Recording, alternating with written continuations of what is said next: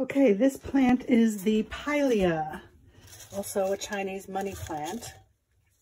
I just love these beautiful shiny flat leaves.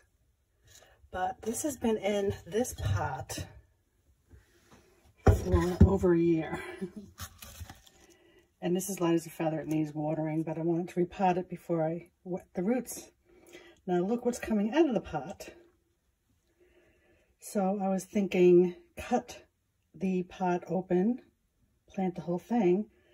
But then I read that you can actually cut that off and just stick it in some dirt and replant it.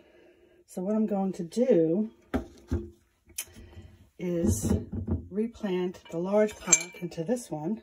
I'm sorry, the large plant into this one. Though it has no drainage, so I'm going to put some rocks at the bottom. And that little baby that's coming up, I'm going to put back in here. Of course, I'm going to sanitize this. And hopefully they'll all live. Now, because it's snowing outside, I'm going to do this inside. So I'm going to lay down some newspaper and try not to make too much of a mess.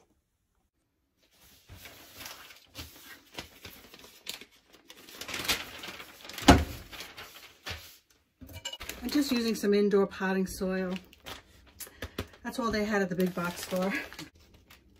Oh, it just broke right off. Some roots down there. See that? Okay. Clean it up a little bit. Try not to make a mud mess. And there he is. Hope he stays happy. He looks really happy. Look at those little babies. There's actually two plants. Well, this is dry, and I'm telling you, I've watered this a lot. It just dries out.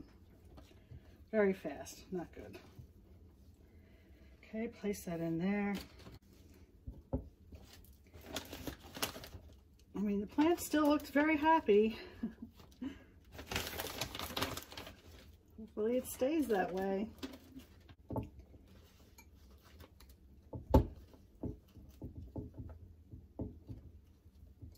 think these house plants are supposed to be the pilea are supposed to be easy to propagate and replant. You know, I love that I got the newspaper out, but I didn't even use it. Didn't even use it over there. And here is Mama Pilea.